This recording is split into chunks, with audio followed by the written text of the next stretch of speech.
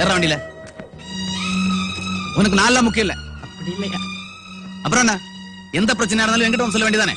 பெருசா முறுக்கிட்டு இங்க வந்து உட்காந்துருக்க அப்ப நீ என்ன மதிக்கல அது இல்லையா? அவர் என்ன பேசின பேச்சு என்னால தாங்க முடியலையா? என்ன அனாதன்ட்டாங்கய்யா எவன்டா சொன்னது உன்னை நாடுன்னு உங்க மாமாதாயா? ஐயா அங்க சாப்பாடு போடுற விதமே சரியில்லையா?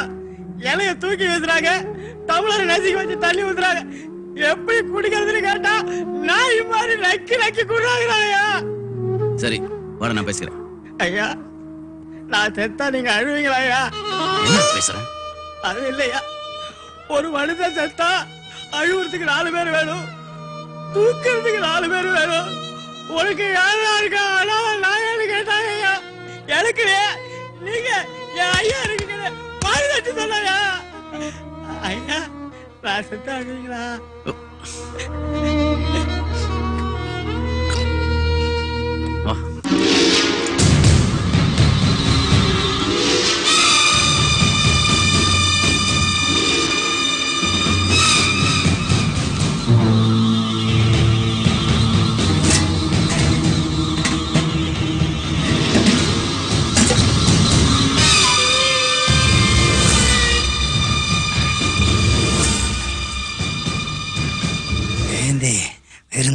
விருந்தாடி ஒரே கொளுத்துனானுங்கல்ல உங்க கையாலேயே ஒட்டு மொத்தமா எல்லாரும் சாப்பிட்டோம்.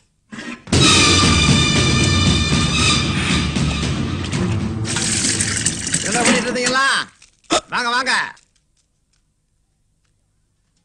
சீக்கிரம் வாங்கடா. குழந்தை பசி தாங்க தெரியாது உங்களுக்கு? ஐயா திட்டுவாரு மேஸ்திரி திட்டுவாரு சீக்கிரம் எடுக்கடா. எல்லாம் கலைக்கு ஊத்துறா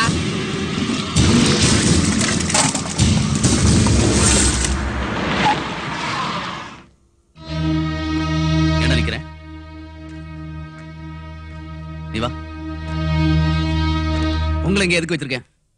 இங்க சாப்பாடு போடுற விதம் எப்படி இருக்கணும்னு சொல்லியிருக்கேன். கேக்குறேன்ல? என்னப்பா? நீ சும்மா நம்ம கொஞ்ச நாளி.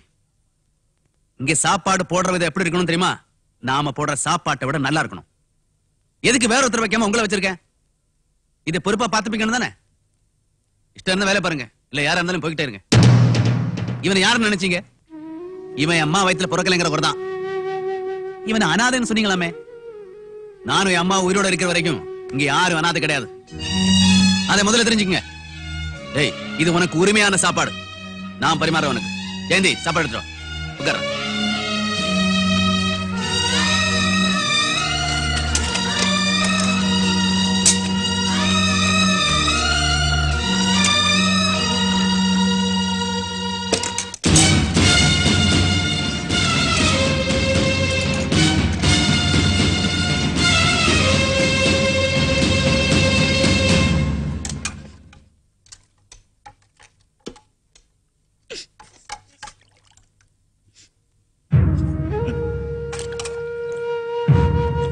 சாப்பிடுறா.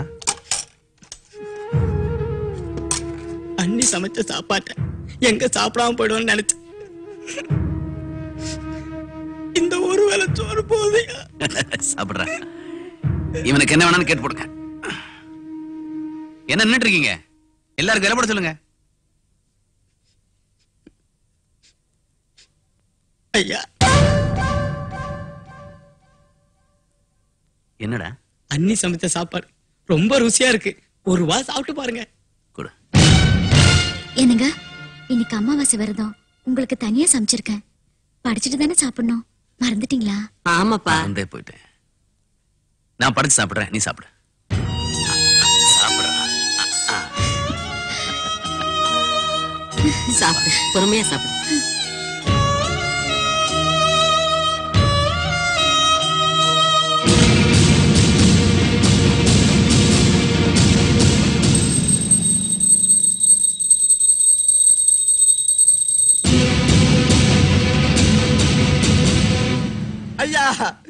நம்ம வேலு.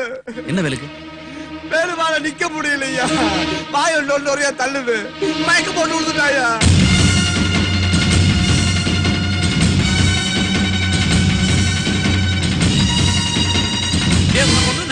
வேலு வேலு என்ன? சின்ன மாப்பிள்ளை, என்ன மாப்பிள்ளை? என்ன வேலை? ஐயா யாரையும் சாப்பிட சொல்லாதீங்க. சாப்பாட்டுல என்ன கலந்துருக்கியா? ஒண்ணும் ஆகாது ஒண்ணும் ஆகாது ஒண்ணும் யாரையும் சாப்பிட விடாதீங்க. நான் பாத்துக்கிறேன் நான் பாத்துக்கிறேன். எல்லாத்தையும் குழி வெட்டி போட்டு மூடுங்க. நாய் கூட சாப்பிட கூடாது. யாரையும் வண்டியில் உட்கார விட்டு மாட்டீங்க. பாத்து பாத்து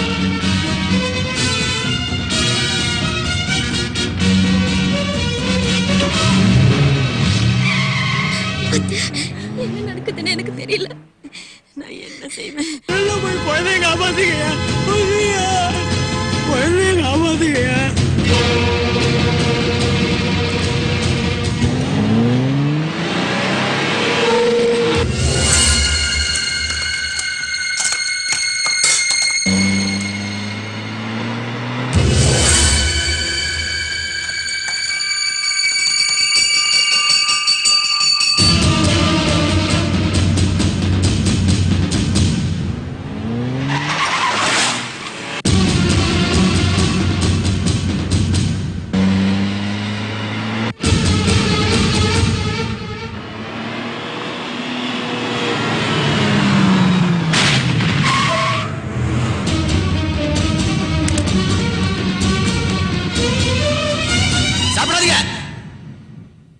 சாப்பிட வேணாம் சொல்லுங்க. சாப்பாட்டுல விஷம் கலந்துருக்கு. ஐயோ.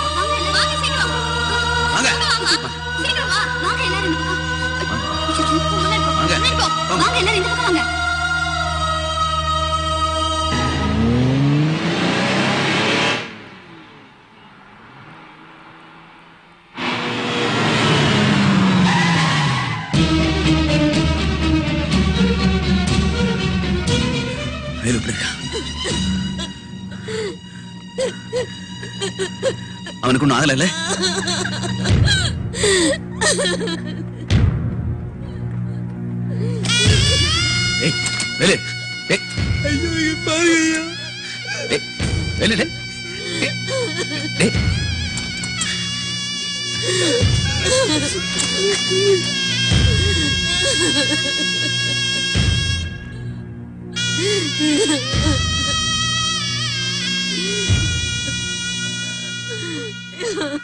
சாப்பிட வராதானே? நானே கூட்டிட்டு வந்து என் கையாலே சொத்து போட்டு கொண்டுட்டல அப்படி சொல்லாதய்யா. நீ என்னையா பண்ணுவ? எல்லாம் நம்ம தலை வீதி.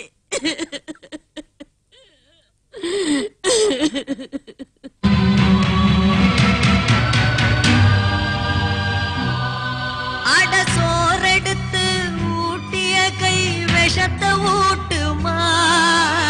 விஷம் எடுத்து விதியின் சாபமா? உன் கையால் வளர்த்த கிளி உன்னால் வாழ்வதா? நெஞ்சுக்குள் இருந்தவன நெருப்பு சூழ்வதா? நெஞ்சுக்குள் இருந்தவன நெருப்பு சூழ்வதா?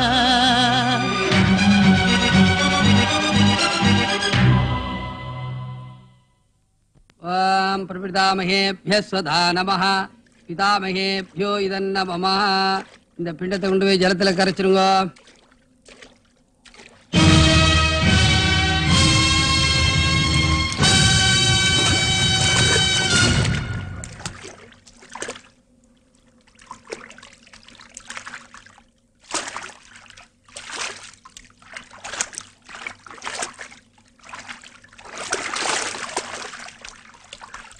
எனக்கு எதிரியே இல்ல.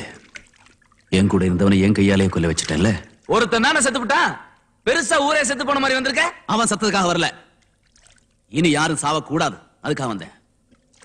என் மேல எந்த தப்பு இல்ல. இனியாவது என்ன புரிஞ்சுக்கிறான்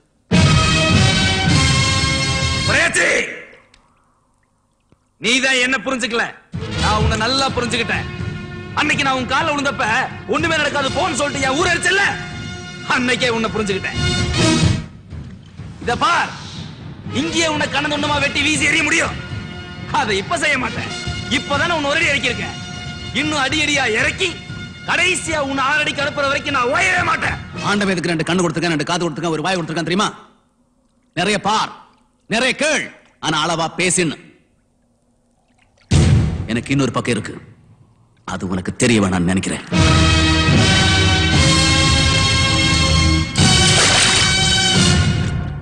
நன்றி கேட்டா நாய்கிடா நீங்க. கடைசியில உங்க புத்தியை காட்டிட்டீங்களே. இவன் தான் அப்படி சொன்னானா? உங்களுக்கு எல்லாம் எங்கடா போச்சு புத்தி? ஏன்பா நீ பண்ணது உனக்கே நல்லா இருக்கா? என்னம்மா? பின்ன என்ன மாப்பிள? வீட்டுக்கு வந்த விருந்தாளிகளை விட இவங்களை விழுந்து விழுந்து கவனிச்சு சொன்னீங்களே? இவன் என்ன சொன்னான்னு கேளுங்க கேளுங்க மாப்பிள. ஆமாங்க ஐயா. சாப்பிட வந்தவங்கள நான் தான் சாப்பிட வேணாம்னு சொன்னேன். நாங்க சாப்பிடுறது உயிர் வாழ்றதுக்கு தான். சாவறதுக்கு இல்லையா என்ன சொல்றீங்க? இன்னமாயா புரியல. இந்த வீட்டு சோத்துல விஷம் இருக்கு. அதை சாப்பிட்டு நாங்கெல்லாம் சாகணுமான்னு கேக்குறான். என்ன தப்பா நினைக்காதீங்கம்மா. ஐயா உங்க சாப்பாட்டை சாப்பிட்டு வளர்ந்த உடம்பையாது இந்த நாக்கால இப்படி பேசுறேன்னு என்ன தப்பா நினைக்காதீங்க. அந்த ஊரே எரிஞ்ச அத்தனை பேரு செத்த பிறகும் இந்த பொண்ணு உங்களை கல்யாணம் பண்ணிட்டு இங்க இருக்குதுன்னா உங்களுக்கு நன்மை செய்யறதுக்கு நினைக்கிறீங்களா? இல்லைங்க ஐயா. உங்க கண்ணு முன்னாலேயே இந்த ஊர்ல உள்ள அத்தனை பேரையும் கொன்னுட்டு கடைசியா உங்களையும் கொல்றதுக்கு தான் இந்த பொண்ணு இங்க வந்திருக்கு. பாத்தீங்களா மாப்பிள? இவன் என்ன சொல்றான்னு கேட்டீங்களா? ஐயா நீங்க என்ன என்ன வேணாலும் நினைச்சுக்கங்க ஐயா. அன்னைக்கு வேலு மட்டும் சாகாம இருந்திருந்தா இந்த ஊர்ல உள்ள அத்தனை பேரும் செத்திருப்பாங்க. அன்னைக்கு வேலு ஒரு வா சாப்பிடுன்னு உங்களுக்கு கொடுத்தப்ப இது வேண்டாம் விரதம்னு சொல்லி தடுத்து உங்களை கூட்டிட்டு போச்சே. அது உங்களை காப்பாத்துறதுக்கு இல்லையா. சண்டாள பாவி கொஞ்சம் கூட ஈவ இருக்கும் இல்லாம பேசுறியே யார் மேலடா பழிய போடுற? அவர் பேசுறது என்ன தப்பு இருக்கு? கல்யாணம் பண்ண முத ராத்திரியே நான் செத்துருக்கணும். நல்ல வேளை என் மேல தலையில விழாம கால்ல விழுந்து அதுக்கப்புறம் இவ மனசு மாறுவான்னு மன்னிச்சுட்டேன். ஆனா இவ திருந்தவே இல்லை. இனி இவ ஒரு நிமிஷம் கூட இங்க இருக்க கூடாது நீங்களா அப்படி சொல்றீங்க? என் மேல எந்த தப்பும் கிடையாது. நான் சொல்றது கொஞ்சம் கேளுங்க. என்ன நம்புங்க. நான் உங்களை விட்டு எங்க போவேன்? நடந்ததுக்கு எனக்கு எந்த சம்பந்தமும் இல்ல. சமைச்சது மட்டும் தானா? ஆனா அதுல விஷம் எப்படி வந்ததுன்னு எனக்கு தெரியாது. என்ன சந்தேகப்படாதீங்க. நான் இங்கே இருந்துக்கிறேன். என்ன போக சொல்லாதீங்க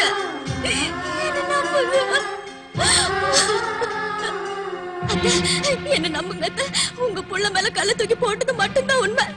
ஆனா நான் இப்ப தீர்ந்துட்டேன் என்ன நம்புங்க? நீ இப்படி ஒரு கொலவெறியோட வந்திருக்கேன்னு எனக்கு அன்னைக்கே தெரிஞ்சிருந்தா உன்னை இந்த வீட்டுக்குள்ளே நுழைய விட்டுருக்க மாட்டேன். அடி பாவி என் வம்சத்துக்கே தீராத பழி உண்டாக்கிட்டியே. இனிமே இந்த வீட்டுல நிக்கிறதுக்கே உனக்கு யோக்கியதை இல்லை. போயிடு இருந்து போயிடு. என் மூஞ்சிலே முடிக்காத போயிடு. போயிடு.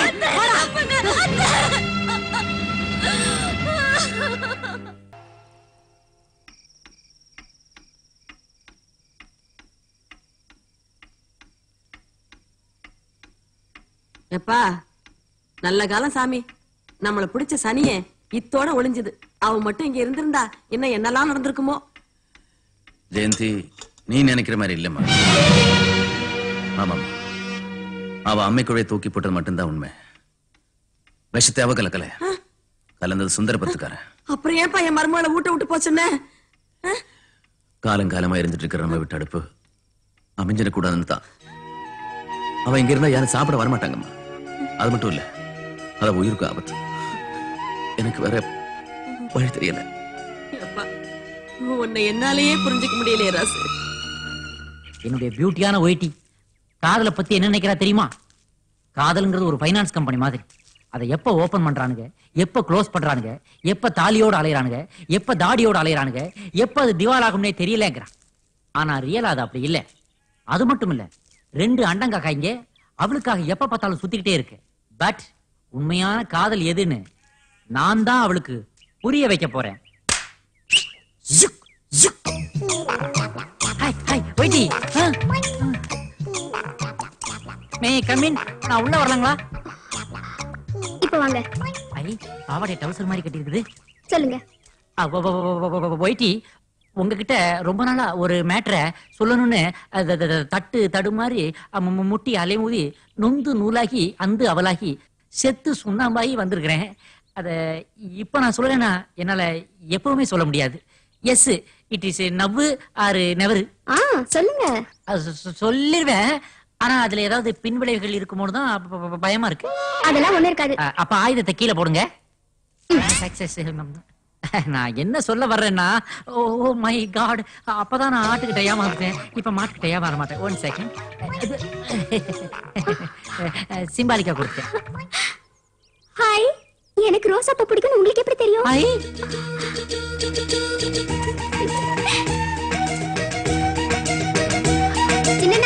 போயிட்டு வரேன் ஆ அண்ணாவா?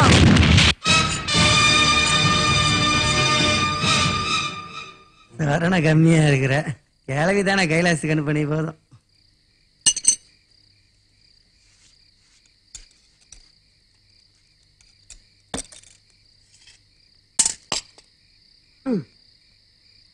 சாப்பிடுறப்ப இது எதுக்கு? நான் ஒரு கசாப்பு கடைக்காரன். ஒரு கிளாட்டை வாங்கி அறுக்கலான்னு வந்தேன். பசி தாளல அதான் உள்ள நுழைஞ்சிட்டேன். உன் ஆட்டு கதை அப்புறம் இருக்கட்டும். உன்னை நான் கடிச்சிருக்கா நாயா? அது எதுக்கு எனக்கு கிடைக்குது நான் தான் அதை கடிச்சிருக்கேன் ஆட்டை அறுத்து அறுத்து அருவு இல்லாம போச்சுடா உனக்கு. நாய கடிப்பானா? நான் அதை கேட்கல. கிட்டன்ஸா உன்னை நான் கடிச்சிருக்கா டா, சும்மா நைன் நைன்ட்டு கடிக்கல போடு. பறக்குறியே. நான் ஏன் கேக்குறேன்னா இது நாட்டுக்கோழி குழம்பு. உன்னை நான் கடிச்சிருந்தா ஆறு மாசத்துக்கு இது தொடவே கூடாது. நீ பாட்டுல தின்னுட்டு மல்லாந்துட்டீங்கன்னா அந்த பாவம் எங்க மேல வந்து சேரும். சரி சரி. நீ சாப்பிடு. நான் வர்றேன். தலையை காணோம். தலை கொண்டா. தலையா? அத நான் சாப்பிட்டேன். நான் உன்னை மல்லாத்த வந்தா நீ என்ன மல்லாத்த பாக்குறியா? எந்த சென்டிமெண்ட்டும் என்கிட்ட வேகாது. மூக்கு பிடிக்க தின்னு புட்டு இன்னையோட வாட்டத்தை க்ளோஸ் பண்ணிடுறேன்.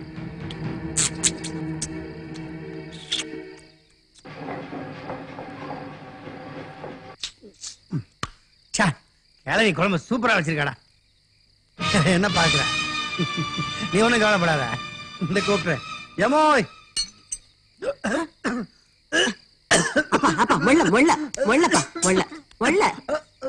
இந்த தண்ணி குடி பார்த்து சாப்பிடுறது இல்ல குடி.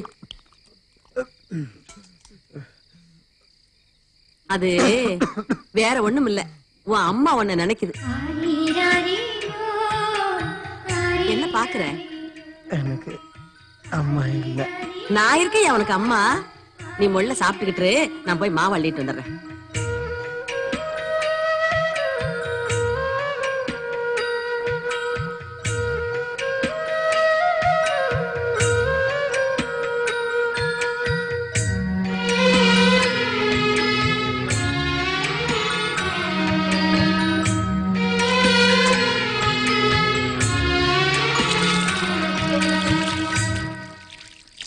நான் போயிட்டு வரேன். ஏப்பா இங்கேயே தூங்கிட்டு கற்கல்ல போயேன் இல்லம்மா நான் போயிட்டு வரேன். ம்.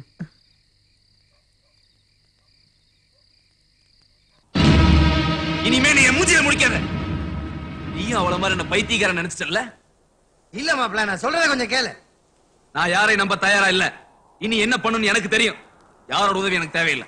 விஷயம் தெரியாத கோச்சுக்காத மாப்பிள்ள. அந்த கிழவி வரல. வேலைக்காரி தான் வந்தா. எவ வந்தா என்ன? இந்நேரம் ஒரு போன உழுந்திருக்கணும். நீ விட்டுட்ட.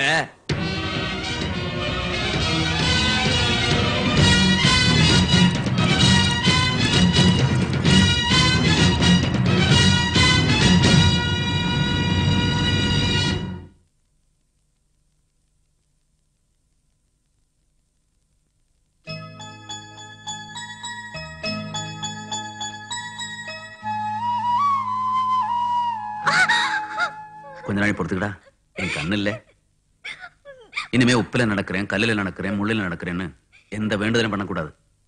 எதுக்கு வீணா பயப்படுறேன்? யாராலையும் நம்மள பிரிக்க முடியாது. என்னடா ரொம்ப வலிக்குதா? இன்னும் ஏன் அழுவுற? இல்லைங்க.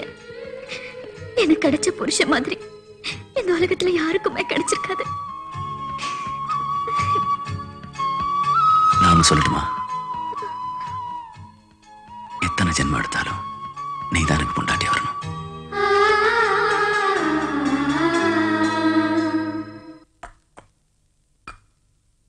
ஏய் என்னடி ஆச்சு உனக்கு பொம்பளைங்களே இப்படிதாண்டி. எவ்வளவுதான் புருஷன்காரன் கொடுமை பண்ணாலும் அதையெல்லாம் மறந்துட்டு அவனையே நினைச்சு உருகிட்டு இருப்பாளுங்க. நீ நினைக்கிற மாதிரி இல்லடி என் புருஷன். அவர் ரொம்ப நல்லவர். ஆமா எல்லா பொம்பளைங்களும் சொல்ற வார்த்தை தானே இது? இல்லடி. காலம் பூரா வாழ வேண்டிய வாழ்க்கைய இந்த கொஞ்ச நாள்லயே அவரோட வாழ்ந்துட்டேன். ஆமா தாயே தெரியாம சொல்லிட்டேன். நீ சாப்பிடு. எனக்கு சாப்பாடு வேணாம். ஏன்? ரெண்டு மூணு நாளாவே எது சாப்பிட்டாலும் எது கிளிக்குது ஆமா உள்ளதாச்சு பாரு. உனக்கு எது கிளிக்குது